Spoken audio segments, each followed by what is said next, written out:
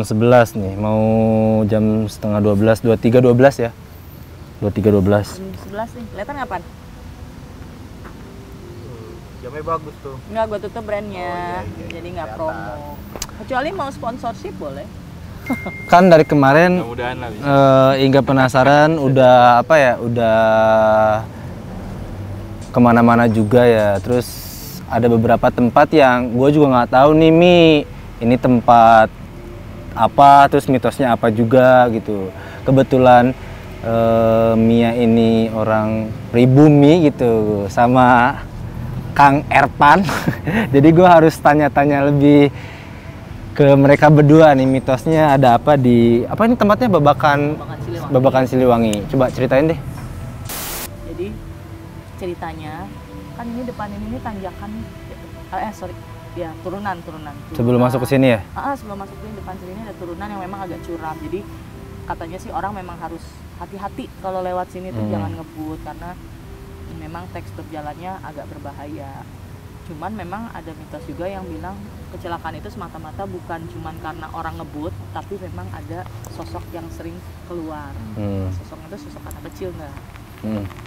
anak kecil perempuan yang yang gue tahu tuh namanya katanya Uci. Jadi tahun 80-an itu ada satu keluarga yang tabrakan. Ketabrak sama mobil yang nggak bertanggung jawab lah intinya nggak tahu tiba-tiba mobil itu bisa nabrak satu keluarga dilarikan ke rumah sakit. Anggota yang lain sih selamat. Si anak perempuan ini tidak langsung meninggal seketika di tempat itu, tapi dibawa dulu ke rumah sakit Hmm. Saat kritisnya dia masih nanyain bonekanya. Jadi dia mungkin bawa boneka saat itu boneka kesayangannya itu nggak ada di tangannya mungkin. Hmm. jadi di tabrakan itu dia terpental jauh sampai ke pohon. Kena salah satu pohon kan di sini Hmm. banyak banget pohon rindang. Apalagi tahun 80-an ya tahun segini aja masih rimbunnya kayak gini. Waktu itu mungkin ini hutan semua kali gitu jalanan itu ya sudah ada cuman banyak pohon. Nah dia nanyain di mana boneka aku boneka Uci mana katanya. Nah jadi warga tuh bersimpati sedih kasihan ngeliat anak ini ikut bantu nyariin. Hmm. katanya sih sampai sekarang boneka itu nggak pernah ketemu. Tapi si Uci-nya akhirnya menghembuskan nafas terakhir terus kemudian terlihat sering menampakkan diri lah sampai Hmm, sekarang. sekitaran sini ya. dengan membawa bonekanya gitu. Ya bagaimanapun si Uci ini sebenarnya nggak mengganggu. Dia hanya menampakkan diri aja lewat-lewat gitu. Cuman kan namanya jalan raya ya di tengah malam gitu tiba-tiba ada anak perempuan bawa boneka lewat kan siapa sih yang nggak horor Iya. gitu kan walaupun katanya sih keberadaan Uci ini sama sekali tidak mengganggu dia tidak negatif tidak jahat dia hanya ingin Dia hanya, dia hanya kesepian aja sih sebenarnya. kesepian dan Ah, mungkin mungkin dia ini mau ngasih tahu ke orang-orang untuk hati-hati jangan Hmm. sampai ada kejadian lagi kayak Iya. dia Hmm. cuma nih enggak nah ini kan sekarang kita mau membuktikan nih terus gue tanya lu penasaran nggak sama cerita gue Penasaran, makanya gue diem aja dengerin. nah penasaran Ngantuk mungkin sih. akan akan terjawab Eh, nanti kita ke sana gitu ya Ah, yang gue gue juga penasaran udah lama apalagi gue tinggal di sini gitu mau Ah. membuktikan mitos itu benar atau nggak cuman sayangnya gue kan nggak bisa lihat mungkin lewat lo bisa gitu Saulah. apakah benar anak kecil yang terlihat itu uji atau mungkin sesuatu yang lain yang menyerupai dia kita kan nggak Iya karena memang banyak banyak banyak anak-anak juga di sini selain juga. Hmm. Berarti emang sebelum ada kejadian ini ada mitos beberapa anak kecil juga sering bermunculan berarti ya. itu mungkin ya nah itu di luar kalau di sini namanya hutan sebesar ini gue sih yakin ada yang lain sih dan kalian mungkin udah lihat gitu jadi ya why not kita jalan masuk ke dalam kita lihat gitu gimana pak Berangkat. Berangkat ya. Mau di Mau lah. ini ada? Ya lumayan nih. Ya soalnya penasaran juga kan apa mereka memang benar-benar ada. ya kita buktikan aja memang benar-benar ada nggak sih mereka tuh. Dan gua tekankan sekali lagi ya, eh, kita ke sini juga bukan untuk mengganggu atau atau apa ya atau kita membuktikan dengan ada nggak sih ini? Atau cuma mitos atau bohong-bohong? Nggak kita ke sini cuman ya membuktikan rasa penasaran yang sekaligus kita silaturahmi aja ke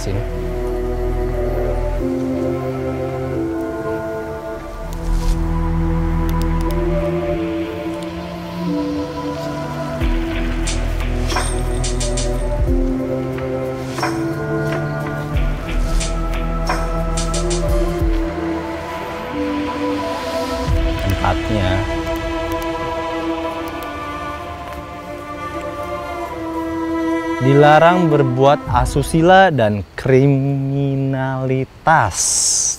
Tuh kan.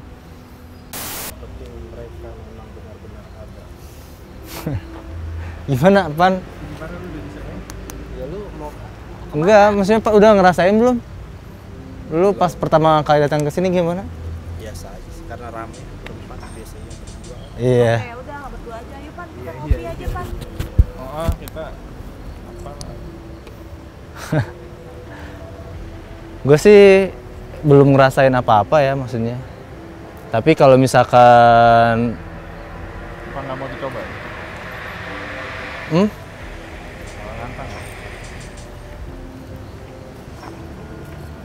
oh gue berasa ada yang ngikutin Hmm? Ada yang ngikutin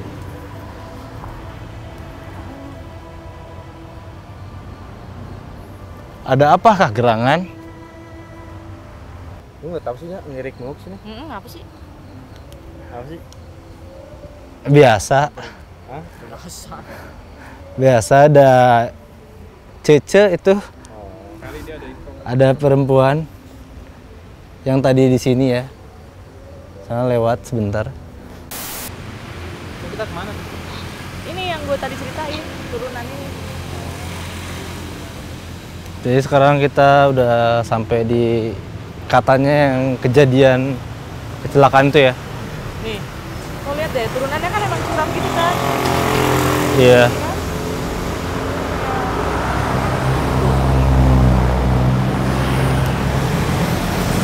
jadi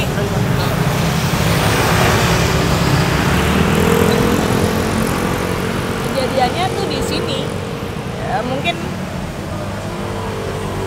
bonekanya terpental di area inilah gitu. Jadi kalau Inga mau ngerasain tuh sebenarnya titiknya ya di jalur ini. Persisnya di mana sih gue nggak tahu. Tapi tu- turunan inilah yang yang viral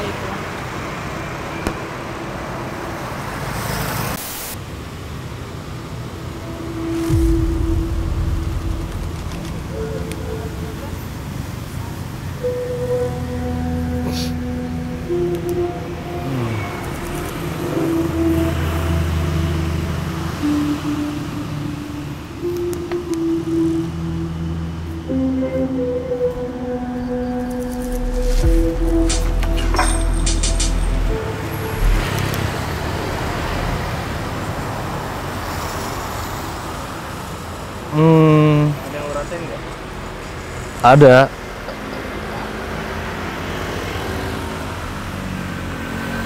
Gua sih nggak tahu ya detail kecelakaannya di mana titiknya. Yang gua rasain itu nggak jauh dari sini.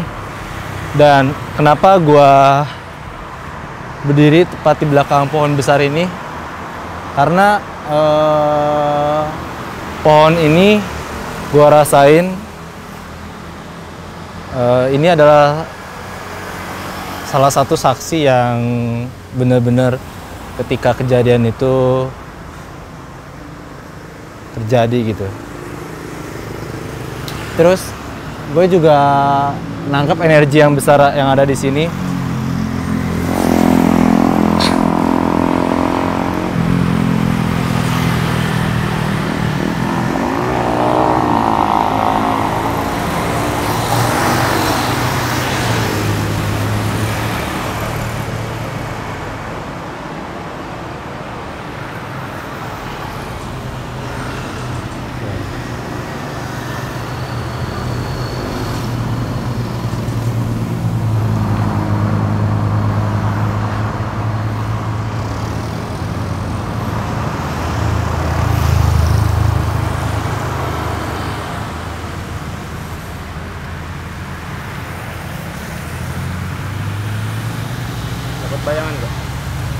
Dapat sedih nyeritainnya.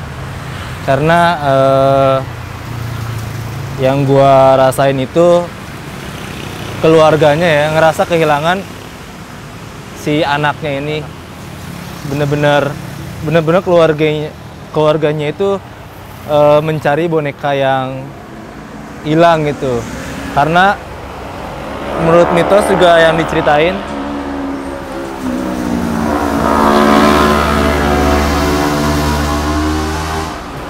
motor dulu. Menurut mitos juga si bonekanya kan mental gitu ya ke ke mana gitu. Nggak nggak ditemuin.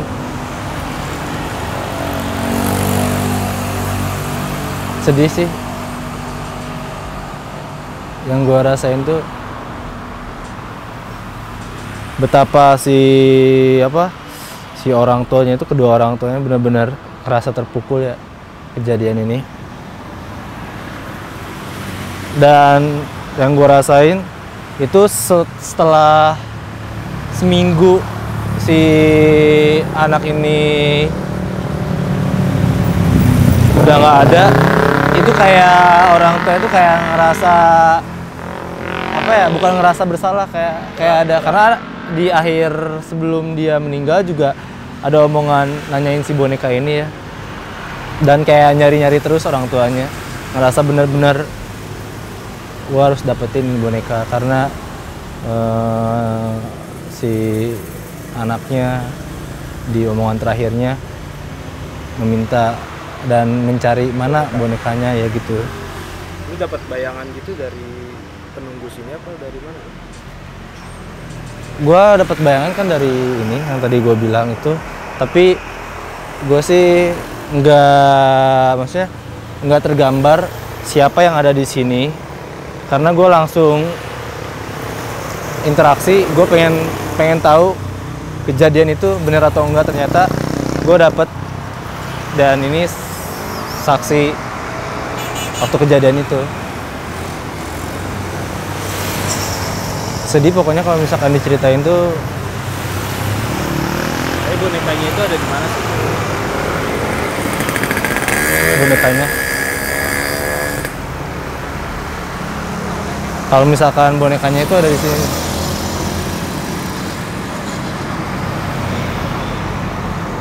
ini di pohon ini nih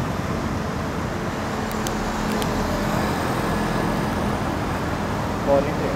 Iya. Tapi nggak dia nggak nggak tetap ada di sini.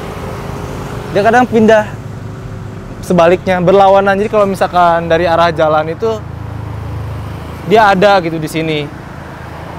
Kalau yang kalau jalan dari sana gitu, dia ada di sini dan kalau misalkan dari sana dia ada di sini gitu.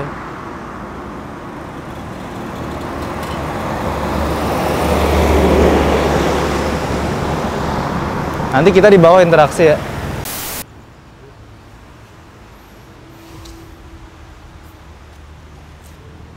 menarik sekali ya ada apa kayak patung-patung kura-kura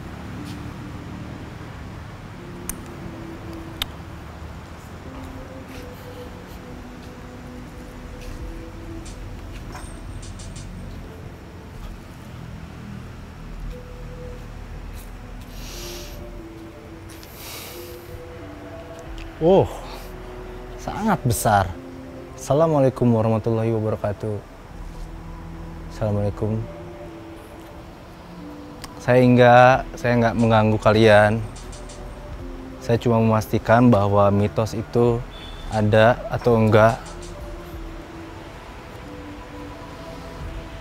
Oh.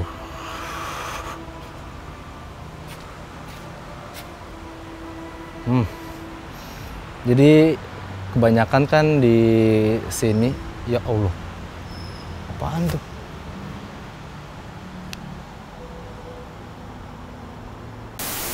Yang gue tertarik itu tadi gue di sini. Mudah-mudahan dia mau interaksi ya. Kita tanya-tanya maksudnya bener nggak sih mitos itu ada atau enggak dan bener nggak sih eh, sosok si anak kecil ini sering menampakkan gitu.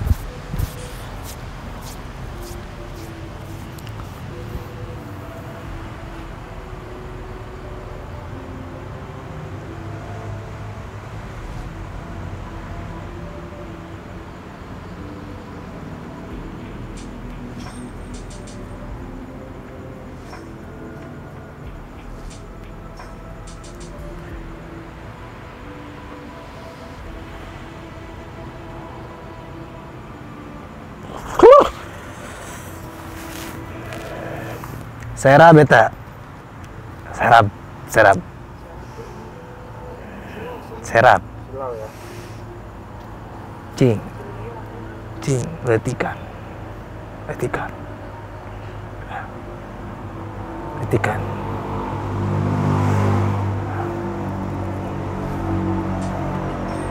Nah.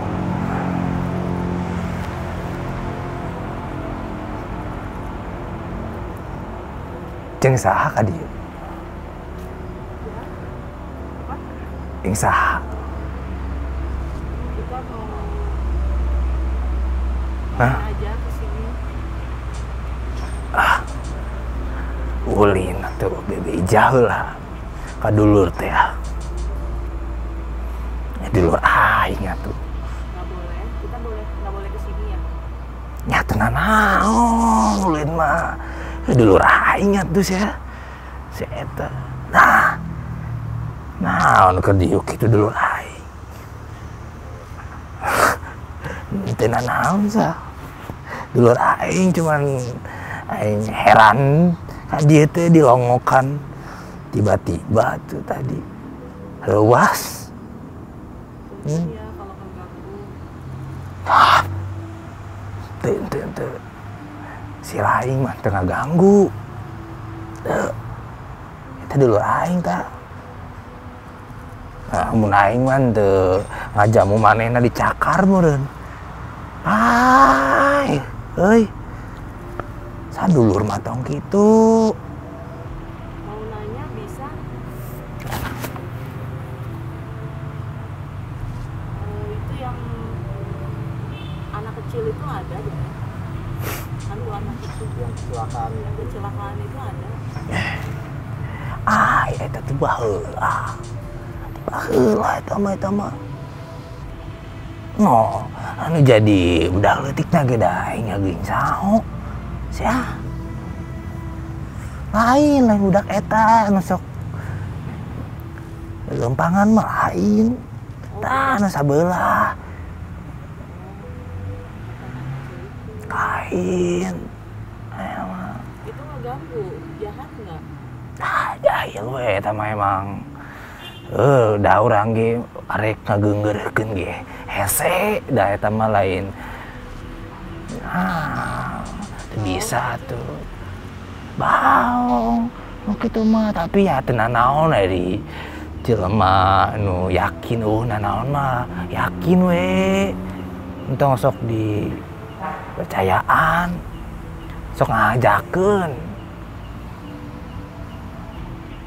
Heh, nggak sesok lah tuh.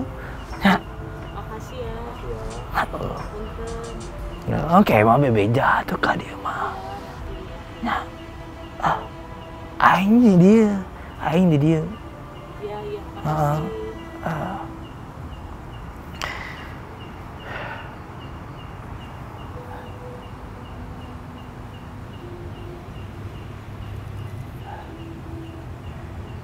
Ini siapa boleh tahu? enggak apa tadi apa itu enggak Jadi eh, tadi yang masuk ke gua itu yang sosok nunggu sini. Dan apa yang gua tangkep juga dia tahu semuanya. Cuman kalau untuk yang sering anak kecil lari-larian atau sosok apa sosoknya tuh sering muncul suka memunculkan gitu sama orang supaya kelihatan itu bukan anak kecil itu. Jadi emang makhluk yang sama kayak dia. Cuman dia juga mau lo nggak boleh kayak gitu jangan ganggu. Tapi bukan ranah si Eta gitu. Karena sangat luas ini ya sangat luas. Dia juga sangat berhati-hati nggak bisa ke mana-mana juga. Jadi beda tempat di sini tuh beda yang nunggunya ya. area-areanya ada area-areanya gitu. Cuman yang gua tangkap dari siang ini emang ada sosok atau penunggu yang di sana itu sangat kuat gitu ya. Jadi ya nggak bisa diapa-apain gitu. Yang penting dia aman-aman aja di sini gitu.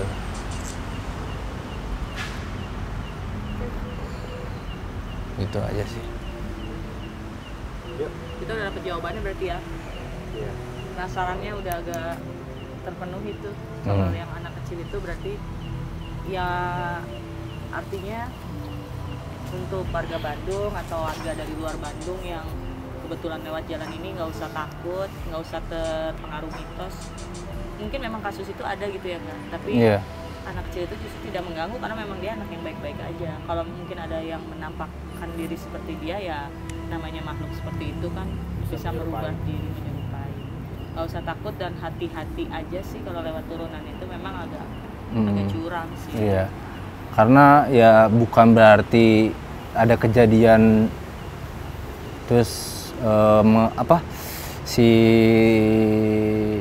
sosok ini mengganggu nggak juga nggak gitu maksudnya kali aja orangnya yang kurang hati-hati atau lalai gitu ceroboh gitu kan jadi jangan dulu disangkut pautkan sama hal-hal yang mistis gitu nggak semuanya mereka yang melakukan gitu. Jangan menuduh. Ya jangan menuduh kita aja kalau dituduh kan males ya. Sebenarnya yang gitu juga males. Mm-mm. ya udah Wih, ya. Udah lagi.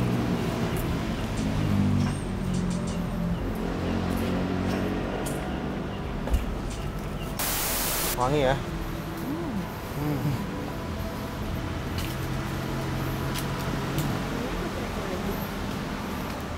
Tadi lumayan dasar sih yang wangi tadi.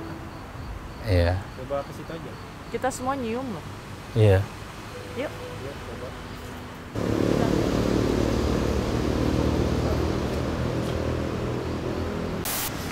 Eh, yang gue rasain tadi di sana kan eh, ada bau bunga bau bunga ya wangi ya. Yang gue rasain itu ada satu sosok perempuan yang berhati baik ya. Maksudnya berhati baik ini bukan cuma hatinya yang baik dari cara dia apa kehidupan sosial atau semasa hidupnya dia selalu berbuat baik ya. Yang gua rasain itu seperti itu